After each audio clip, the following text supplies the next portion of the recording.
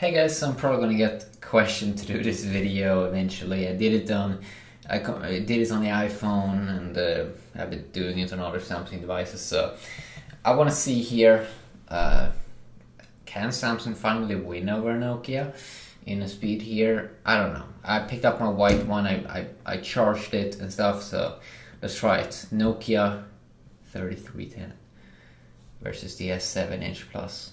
No, not the S7 Edge Plus. Use the S7 Edge. Yeah, Samsung phone for 2016. Okay, let's start at the same time. Let's go. So we do have uh, Samsung's or uh, Google's or Android's Android 6.0.1 inside of the. Oh my god, it's already up. Yeah.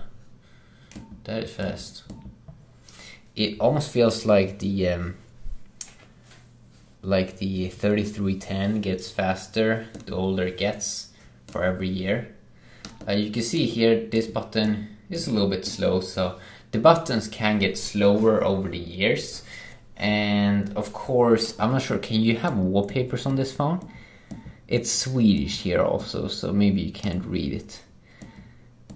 I don't think. Can you have a, a background? I think maybe. Welcome text. Language. Carrier. No, I don't think you can have wallpapers on 3310. That's pretty crazy. Security settings, pin pin code. No.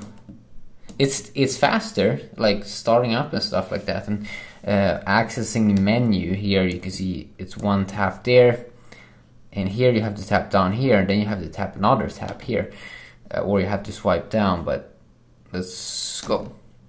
Yeah this one is that was like almost three times faster uh, by tapping on that little thing. So that's, that's very very impressive and how on the Samsung phone yeah you do have some things like if you want to change uh, things like themes or wallpapers, you do have actually options for that. So that can be nice. But if you just want to use your phone for what it's meant to do, like call and stuff, and this one is more compact, it can probably take a few more hits and it lasts like like long time.